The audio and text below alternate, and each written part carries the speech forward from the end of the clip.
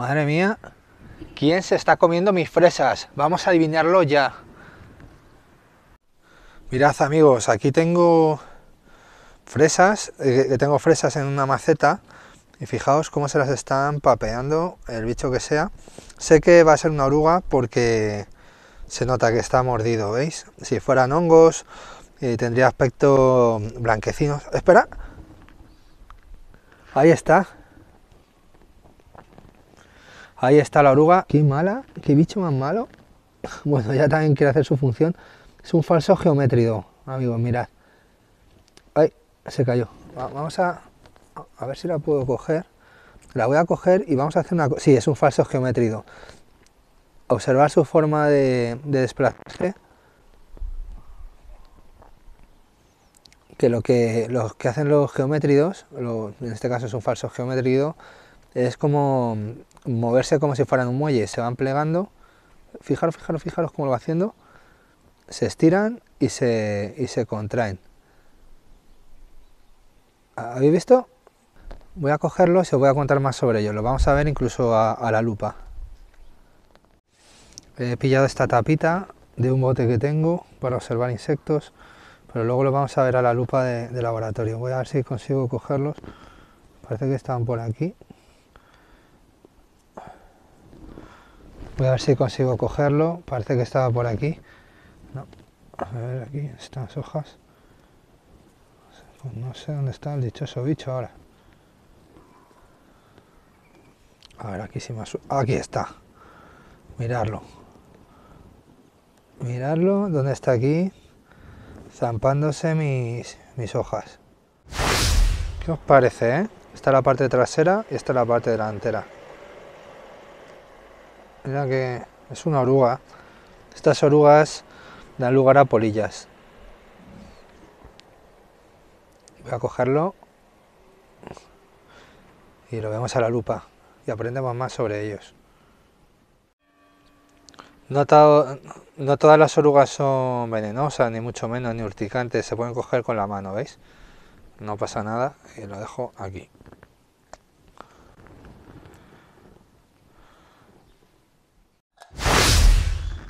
He venido a esta mesa de madera porque creo que va a ser mucho más sencillo explicaros cómo, se desplazan, que es curiosísimo.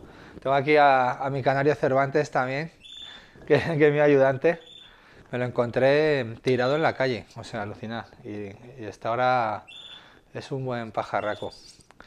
Eh, bueno, he conseguido coger dos, dos orugas, las voy a echar aquí en, la mesa esta, y os voy a enseñar cómo se desplazan. Ahí las tenemos, vamos a observarlas un poco. Aquí las tenemos en la mesa y, a ver, os, os comento algunas cosas sobre ellas. Se llaman también eh, falso medidor de la, col. Atacan sobre todo a, plagas de, de plantas que nos comemos, que tenemos en la huerta y pueden ocasionar serios problemas. Así en plantas que no los podemos encontrar, pues ya habéis visto, en las fresas, en los tomates, coles, pepinos, no sé, calabazas por ejemplo también. Y son muy característicos los agujeros que hacen en las hojas porque ellas no empiezan a comer en los bordes, sino comen como por las zonas centrales y dejan esa especie de, de agujerillos, ¿no? Por eso yo sabía que podían ser orugas, es muy característico de las orugas. También podemos encontrar sus, sus excrementos ahí entre las hojas. Fijaros que cómo se desplazan, que no tiene un desplazamiento normal, van doblando su cuerpo, ¿veis? Fijaros, van como midiendo, ¿no? Como si nosotros midiéramos con palmos, pues ellas miden así con el cuerpo.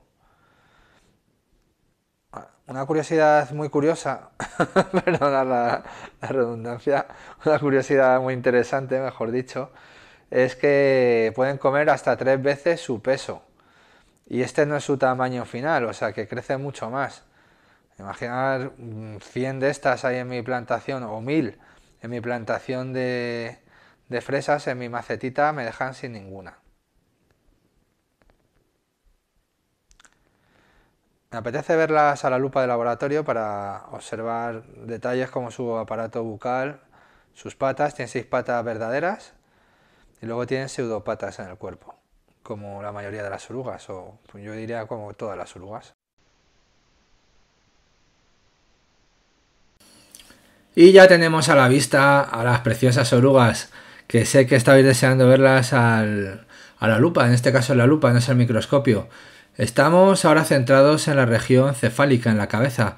Fijaos cómo tiene la cabeza eh, diseñada para comer hojas, ¿no? Eh, con las patitas delanteras agarraría las hojas con fuerza y luego con la boca haciendo movimientos de arriba abajo, ¿vale? Va comiendo de arriba abajo y luego sube otra vez y luego otra vez de arriba abajo.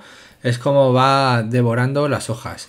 Estas orugas son estrictamente, estrictamente, o sea, no comen otra cosa, herbívoras. No comen carne, ¿vale? De si se encuentran otro insecto, no, no lo van a devorar. También es llamativo esos ocelos que tiene al lado de, la boca, que, que, están ahí, bueno, que son esos puntitos, seguramente tengan función sensorial. Vamos a darle un girito y aquí observamos las pseudopatas, ¿veis? En las orugas pensamos que las patas estas, que parecen patas traseras, son patas, pero en realidad son pseudopatas. Las patas verdaderas son las patas de la parte de, de la cabeza. Fijaos también observar qué pelitos tiene. no necesita ir al peluquero, es de poco pelo, la verdad, pero, pero tiene ahí sus pelitos sensoriales.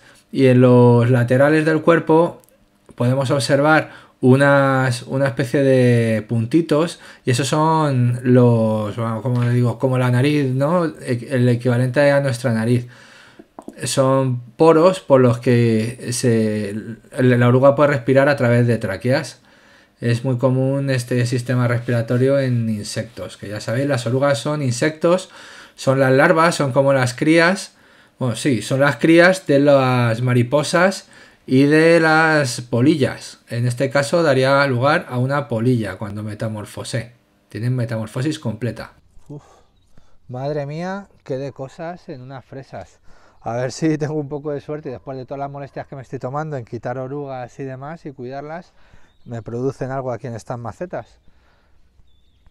Nada más amigos, me voy a despedir. Nos vemos en el próximo vídeo. Ya sabéis, si vuestras plantas tienen este tipo de agujeros, pueden ser orugas y no volváis locos a echar productos. Hay productos ecológicos que lo pueden quitar o simplemente vosotros lo, la retiráis y ya está. No hay más misterio.